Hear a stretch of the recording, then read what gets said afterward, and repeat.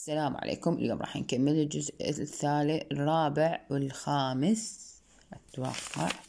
لا هذا الثالث والرابع هذا الخامس والسادس الجزئين الأخيرة لموضوع سوق المدينة لقراءة الصف الثاني الابتدائي. راح أقرأ. أمي تطبخ طعامنا في المطبخ وأختي تساعد أمي تضع الغطاء على مائدة الطعام. تضع الغطاء على مائدة الطعام. أمي تطبخ طعامنا في المطبخ. وماما تطبخ طعام تطبخ بالمطبخ.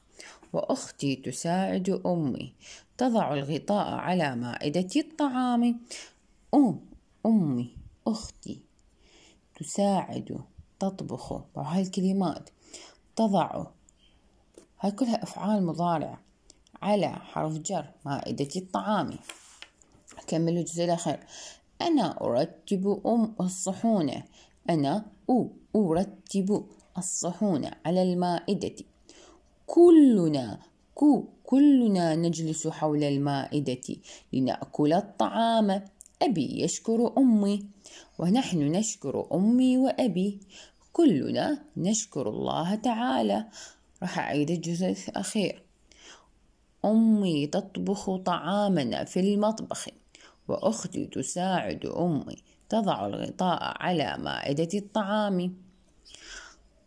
أنا أرتب الصحون على المائدة.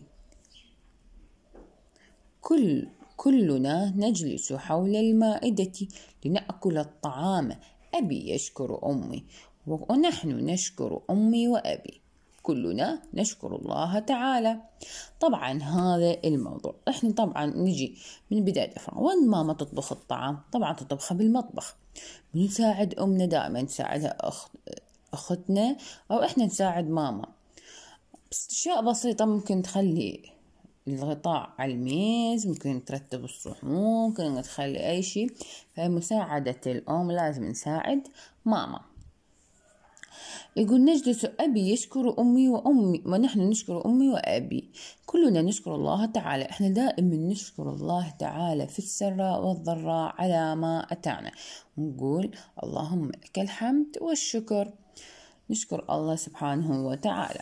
راح ناخذ الكلمات الجديدة اللي هي تطبخ طعامنا المطبخ تضع الغطاء مائدتي أرتب الصحون كلنا نجلس حوله يشكر حول كتب مكتوبة مرتين حول المائدة.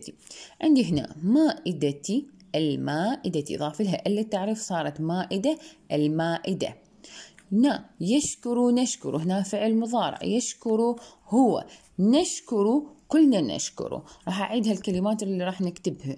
دفاترنا تنزيل كل كلمة ثلاث مرات. هاي كلمات جديدة. تطبخ طعامنا. المطبخ تضع الغطاء. مائدتي. أرتب الصحون كلنا. كو. كلنا. نجلس حول يشكر نشكر المائدة. كل كلمة تنكتب ثلاث مرات مع قراءة الموضوع وكتابته بالدفاتر اللي هي صفحة 106 وصفحة 107 والسلام عليكم ورحمة الله.